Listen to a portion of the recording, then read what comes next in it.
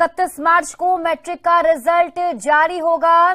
Bihar board matric result को लेकर एक बहुत बड़ी अपडेट सामने आई है। बिहार बोर्ड के अधिकारियों ने खुद बता दिया है कि किस दिन मैट्रिक का रिज़ल्ट जारी होगा। बिहार राज्य के 16 लाख से भी ज़्यादा छात्र बड़ी बेसब्री से मैट्रिक 2023 के रिज़ल्ट का इंतज़ार कर रहे हैं।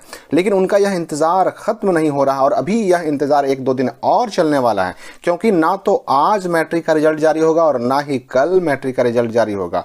अगर आज मैट्रिक का रिज़ल्ट आना होता तो अब तक उसके लिए ऑफिशियल अनाउंसमेंट हो जाता, विज्ञप्ति आ जाती, ट्विटर पर घोषणा हो जाती, लेकिन अब तक ना तो कोई घोषणा हुई है, ना तो कोई ऑफिशियल नोटिफिकेशन आया है, इसलिए आज 29 मार्च को रिज़ल्ट मैट्रिक का नहीं आएगा और 30 मार्च को है रामनवमी की छुट्टी, इसलिए 30 मार्च को भी मैट्रिक का रिज़ल्ट जारी नहीं होगा। तो फिर मैट्रिक का रिज़ल्ट आएगा कब? तो मैं आपको बता दूँ कि मैट्रिक के रिज़ल्ट की सारी तैयारियाँ पूरी हो चुकी हैं। टॉपर वेरिफिकेशन तो कब का खत्म हो चुका है? रिज़ल्ट बिल्कुल बनकर तैयार है, बस इसे जारी करने की देर है। लेकिन बीच में कुछ छुट्टियाँ होने की वजह से रिज़ल्ट जारी करने को लेकर देर हो रही है।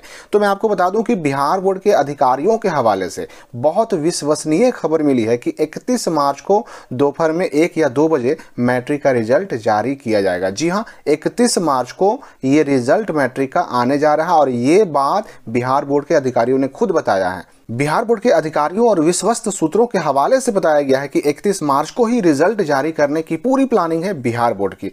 और वैसे भी आप खुद ही देख सकते हैं कि अगर आज मैट्रिक का रिज़ल्ट जारी होना होता, यानी 29 मार्च को रिज़ल्ट जारी होना होता तो इसकी ऑफिशियल घोषणा हो चुकी होती, ट्विटर पर नोटिफिकेशन आ चुका होता, लेकिन नोटिफिकेशन नहीं आया मतलब रिज़ल्ट उनतीस मार्च को जारी नहीं होगा, और तीस मार्च को तो वैसे भी रामनवमी की वजह से रिज़ल्ट जारी हो ही नहीं सकता। छुट्टी है, पूरा बिहार बोर्ड बंद है, सारे अधिकारी छुट्टी पर रहेंगे, इसलिए इकतीस मार्च को रिज़ल्ट जारी होने की संभावना सबसे ज़्यादा है, और वैसे भी 31 मार्च के बारे में बिहार बोर्ड के अधिकारी भी कंफर्म कर चुके हैं कि 31 मार्च को ही मैट्रिक का रिज़ल्ट आएगा, और ये खबर आज न्यूज़ 18 के ऑनलाइन पेपर में भी आ चुका है और न्यूज़ 18 के न्यूज़ चैनल पर भी आ चुका है, जिसका क्लिप आप आगे देख सकते हैं। अब रही बात की मैट्रिक का रिज़ल्ट कैसे चेक करेंगे तो इसके लिए सिंपली गूगल में सर्च करें स्काइलेट स्टडी और सबसे ऊपर जो रिज़ल्ट आएगा, उसको आप क्लिक करके ओपन कर लें। यहाँ पर आपको मैट्रिक के रिज़ल्ट के अपडेट के साथ साथ रिज़ल्ट चेक करने का लिंक और लाइव यानी रियल टाइम अपडेट भी डाले जा रहे हैं। यहाँ पर जो सबसे ऊपर पोस्ट नज़र आएगा आपको, Bihar board matric tenth result 2023 live updates यहीं पर क्लिक करके इसको ओपन कर लेना है।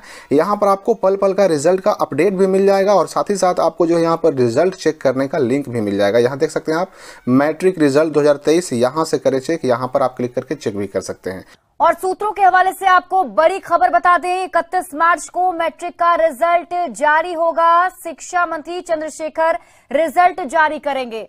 दोपहर तक रिज़ल्ट जारी होने की उम्मीद जताई जा रही है। आपको बता दें कि 16 लाख से ज़्यादा परीक्षार्थी इस बार मैट्रिक एग्ज़ाम में शामिल हुए थे। बिहार बोर्ड ने रिज़ल्ट तैयार कर लिया है और जो जानकारी मिल पा रही है उसके मुताबिक इकतीस मार्च को मैट्रिक के रिज़ल्ट जारी कर दिए जाएँगे। शिक्षा मंत्री चंद्रशेखर रिज़ल्ट को जारी जारी करेंगे।